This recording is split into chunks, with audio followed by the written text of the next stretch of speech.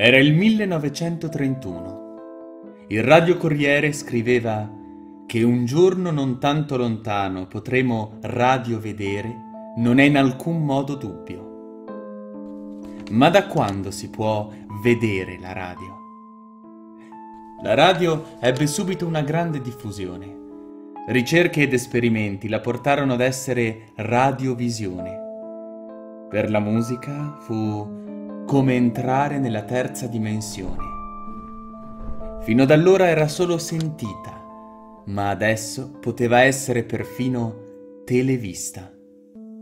Questa unione però durò molto poco. La visione, staccatasi dalla radio, diventerà presto tv e la radio, data sempre più per spacciata, continuerà da sola la propria storia. Storia di strade parallele, quella di radio e televisione, ma pronte a rincontrarsi nel nuovo millennio in cui la radiovisione finalmente ritornerà a vivere. È la rinascita di un vero supermedium. È la vicenda del nuovo che non soppianta il vecchio, ma lo integra. È il culmine di una lunga evoluzione tecnologica.